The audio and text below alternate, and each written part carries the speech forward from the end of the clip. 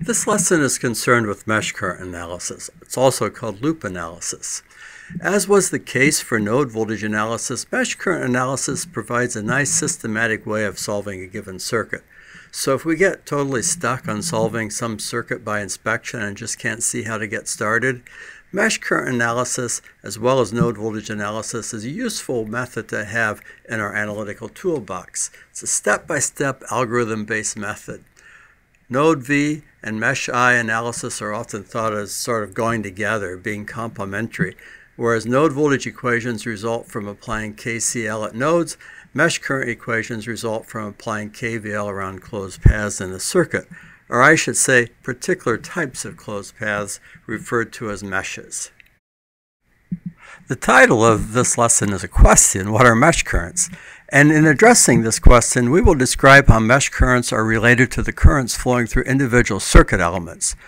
I'm going to defer a discussion of how to calculate those mesh currents for a given circuit for the next lesson, but for now let's define what is meant by a mesh in the context of circuit analysis. A mesh is defined as a special type of closed path or loop in a circuit. It's special in that it does not enclose any other loops within it. So for example, we see here a closed path labeled A. We could think of that path, for example, as starting at the bottom of element 3, then going through element 3, proceeding through element 4, then through element 6, finally back to the bottom of element 3, completing the loop. This loop qualifies as a mesh. And loop B to the right also qualifies as a mesh.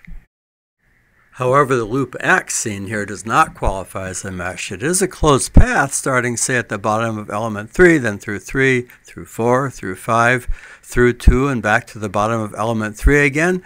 However, it encloses two other loops. All meshes are closed paths, but not all closed paths are meshes. A mesh does not enclose other loops. You could also say a mesh does not enclose any elements. In this case, it entraps or encloses element 6. So loops A and B qualify as meshes, loop X does not. So in fact, this circuit, a particular connection of six circuit elements, has three meshes, and they are labeled here as mesh A, mesh B, and mesh C. Having defined meshes, what's a mesh current? For each of these circular arrows, we're going to associate a mesh current with the circular arrow serving as a reference direction arrow for the current. Now, by convention, a clockwise direction has been taken. By the way, I, I, should interject that mesh current concepts are limited to planar circuits, that is, circuits that can be drawn on a plane, on a screen, or piece of paper without any crossovers or cross-unders of the lines or wires in the circuit. But back to this circuit. How would those three mesh currents relate to the six element currents? In pondering that, we can note that some of the elements, like element 1, are only in one mesh, whereas other elements, like element 4, are shared between two meshes. Element 1 is only in mesh C, and the direction of the mesh current arrow I sub C and the element current reference arrow I sub 1 coincides. One says that I1 is equal to IC. The element current I1 is equal to the mesh current IC. Now let's have a look at element 2. Element 2 we see is entirely in mesh B, and the element reference arrow is in the same direction as the mesh current reference arrow, so I2 is equal to IB. Element 3 is entirely in mesh A, so can we say I3 equals IA? No, because the element reference arrow is in the opposite direction as the mesh current arrow. So to be correct, we will say that I sub 3 that element current is equal to minus I sub A, where I sub A is the mesh current. Suppose an element is shared between two meshes, as is the case for element 6 shown in this slide. Element 6 in both mesh A and mesh B, so the element current I6 is related to both mesh current I and mesh current IB. In this case, someone has chosen the reference arrow for element current I6 to point from top to bottom we see that that's in the same direction as the reference arrow for mesh current IA and in the opposite direction for the reference current for mesh IB. So the proper sign use is to say that I sub 6 is equal to I sub A minus I sub B. These concepts can be wrapped up in one nice equation. Generalizing, if the the property of mesh currents is such that if element n is contained in meshes x and y, then the element current is I sub n equals Ix minus Iy, where x is that mesh for which the mesh current reference arrow is in the same direction as the element current reference arrow, and y is that mesh for which the mesh current reference arrow is in the opposite direction. What if the element's only in one mesh? Well then I sub n is just equal to Ix, or I sub n is equal to minus Iy, depending on the direction of the reference arrows. Just to check, let's apply that equation to two currents we've just considered, I1 and I6. Element 1 is only in mesh C. The reference arrow for I1 is the same as the reference arrow for mesh C, so applying the equation I sub n equals Ix minus Iy just yields I sub 1 is equal to I sub C. There is no I sub y in this case. But for the element 6, which is the meshes A and B, the mesh reference arrow for mesh A is in the same direction as that for element I6 current, whereas the mesh current reference arrow for mesh B is in the opposite.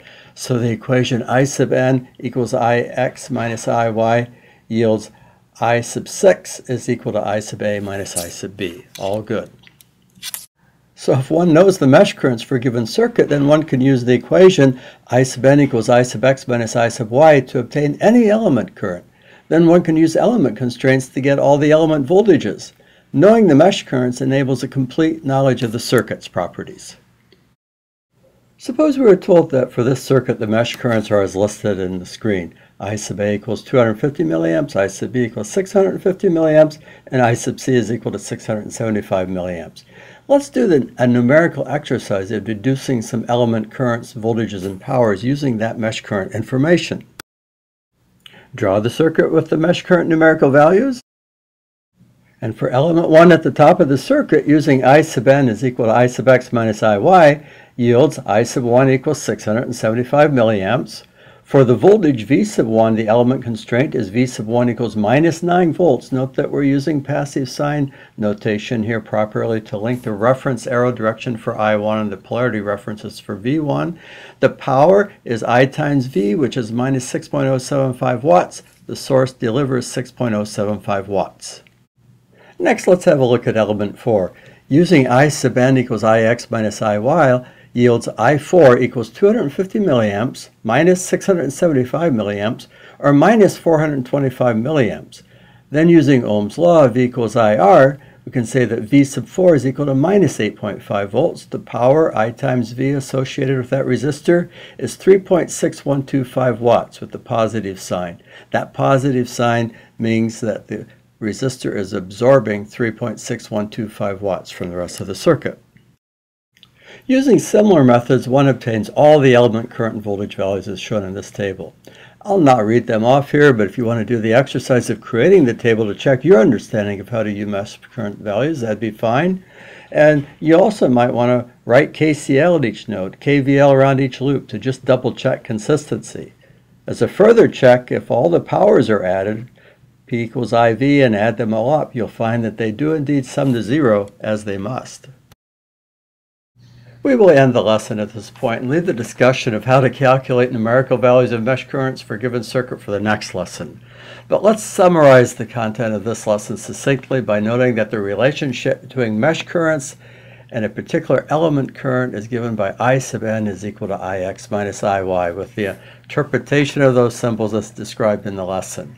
And remember that if we have the mesh currents, we can find all the element and voltage and currents for the entire circuit. Well, thanks for watching this lesson. I hope you can also watch the sequel lesson on how to calculate mesh current values.